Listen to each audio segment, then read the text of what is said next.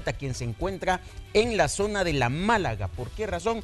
Porque llovió ayer y las autoridades han realizado monitoreos. ¿Es o no es así, Dani Guarita? Buenos días. Así es, compañeros, ahí en los estudios, amigos televidentes. Eh, bueno, Julio, justamente nos encontramos desde este sector muy importante muy importante ya que las autoridades continúan realizando la verificación y también el control sobre el nivel de este río, el caudal, además también eh, tratar la manera de prevenir algún desastre en una zona donde prácticamente es totalmente vulnerable para la población y también para los transeúntes y los habitantes de este lugar. Tal como usted observa en las siguientes imágenes, este es el nivel del agua de este río, el río El Arenal, comúnmente se le conoce, y no está afectando eh, prácticamente o no está poniendo en riesgo a los habitantes que se encuentran en esta zona. Hay que mencionar que justamente a unos cuantos metros acá también hay una barrera que indica los niveles de lluvia están desde los 140 milímetros hasta los 540.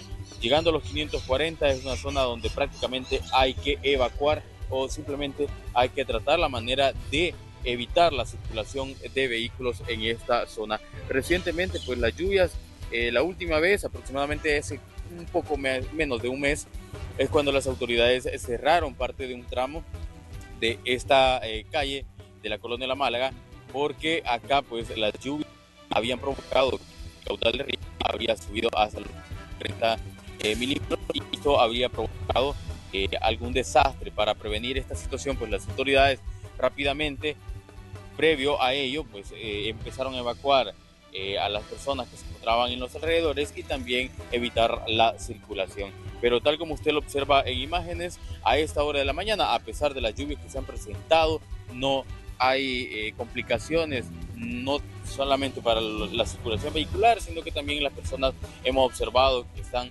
transitando con total tranquilidad en esta zona. Así que el nivel de lluvia incluso no ha llegado o no ha sobrepasado los 140 milímetros, que es la cantidad mínima de agua que se tiene acá, pues el registro señalado para que los eh, para que las personas puedan circular y que también pues eh, no provoque mayores inconvenientes. Así que a esta hora de la mañana las imágenes que usted observa son totalmente en vivo del ambiente que se vive desde este sector de este río y también Colonia La Málaga como comúnmente, donde las autoridades que se desplazan y mantienen también un control tanto de protección civil de la Municipalidad de San Salvador y como también los diferentes equipos tácticos de, emergencia.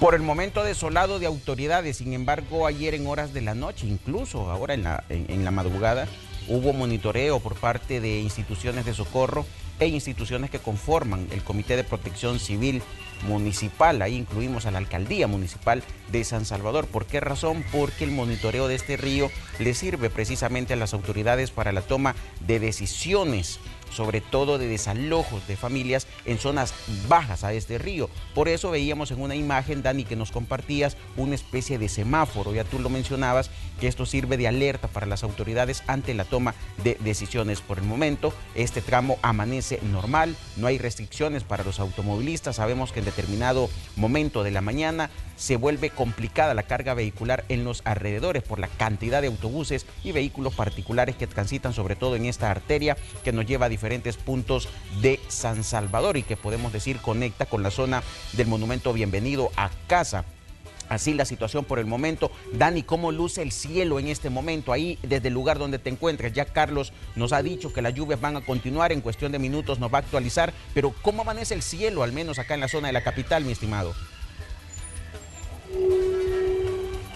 Bueno, bastante despejado en algunos puntos, también hemos observado alguna eh, nubosidad en algunas zonas y por lo que podemos observar, sí, vamos a tener algunas presencias eh, de lluvia quizás eh, durante el curso de la tarde. A esta hora ya se logra observar prácticamente al fondo, detrás de mí, este ambiente que quiero mostrarles.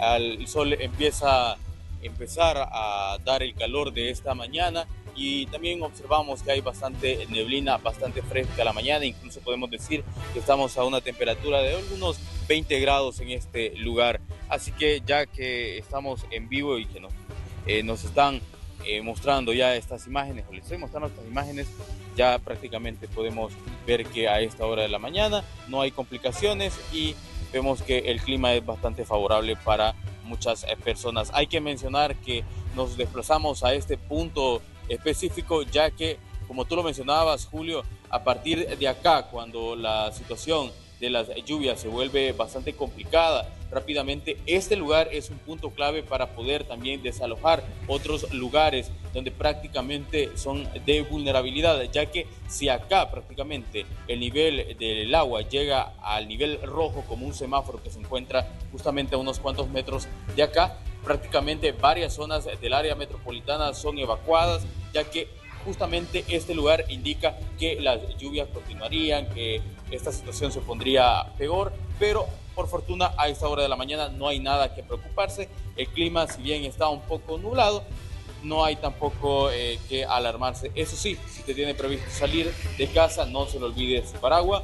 Tenemos lluvias al parecer durante los próximos días, durante aproximadamente de aquí a noviembre y eh, ya nuestro compañero Carlos va a estar detallando cuál es la situación del clima para ese día.